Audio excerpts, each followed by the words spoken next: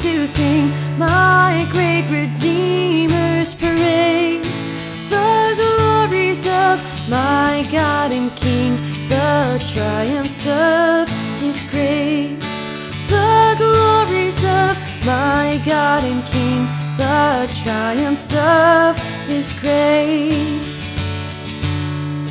My gracious Master